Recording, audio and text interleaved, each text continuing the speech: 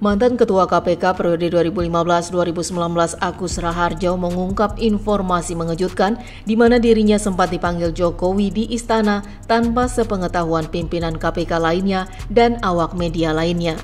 Bahkan Agus menyebut ia sempat dimarahi Jokowi dan meminta agar kasus IKTP yang menjerat Ketua DPR sekaligus Ketua Partai Golkar kala itu, Setia Novanto, dihentikan.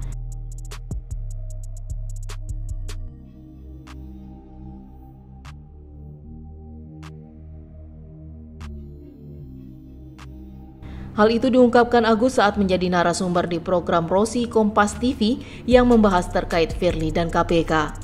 Agus menyebut, usai diintervensi oleh Jokowi, ia mengaku tetap melanjutkan kasus mega proyek IKTP tersebut karena KPK telah menerbitkan surat perintah penyidikan dan menetapkan Setia Novanto sebagai tersangka.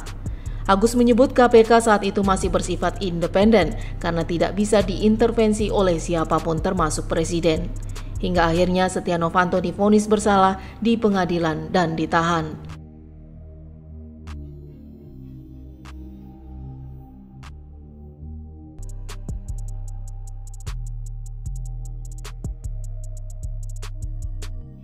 Sementara itu, mantan penyidik KPK Novel Baswedan mengaku sempat mendengar cerita adanya intervensi dari Presiden Jokowi dalam kasus IKTP.